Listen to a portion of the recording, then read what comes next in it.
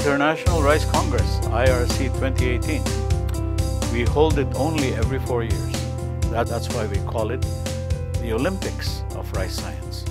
It's the one place in all of the globe where all of the world's best rice scientists gather, where the rice industry players come together to see what's the latest in scientific achievement for rice research and for ensuring that we meet our global goals for food and nutrition security. 90% of the world's rice is produced in Asia. So we need and we want participation from all of the world's rice, rice growing economies.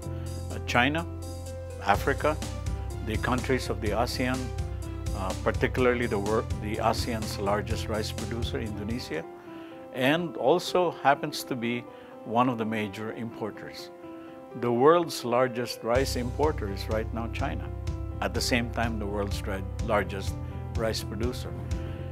The Chinese, the China is able to produce all of the rice it needs, but its population is demanding higher quality rice. So it's not only about growing rice to meet volume requirements, it's also growing rice to meet quality objectives.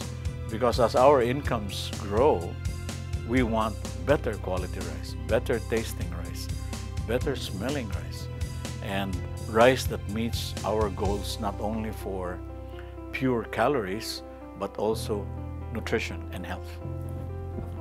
Rice is a very important commodity for scientific research. Why? Because think of rice research as a gateway into analyzing other crops.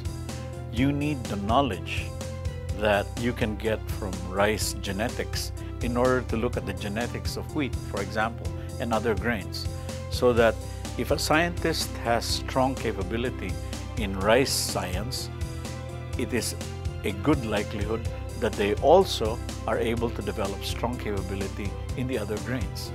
So knowing rice science enables you to know the science of many other commodities. So come and learn the science of rice, which is applicable